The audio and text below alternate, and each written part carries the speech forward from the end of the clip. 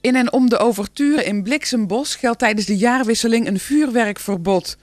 Op 31 december mag vanaf morgens 10 uur tot en met 2 uur de volgende dag geen vuurwerk worden afgestoken. Dat heeft het college besloten nadat er vorig jaar veel vernielingen waren aangericht.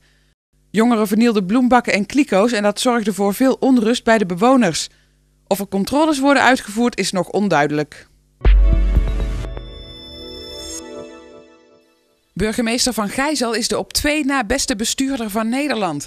Dat blijkt uit een jaarlijkse ranglijst van vakblad Binnenlands Bestuur. Het blad prijst Van Gijzels aanpak van de drugscriminaliteit in de regio en zijn optreden bij de huisvesting van pedoseksueel Sietse van der Vee. De Amsterdamse wethouder Lodewijk Asscher voert de ranglijst aan. Bij vrachtwagenfabrikant DAF rollen vanaf maart volgend jaar 164 trucks per dag van de band. Nu zijn er dat nog 147. De productie kan omhoog omdat er steeds meer orders bij DAF binnenkomen. Voor de extra productie trekt de vrachtwagenfabrikant 160 extra tijdelijke krachten aan.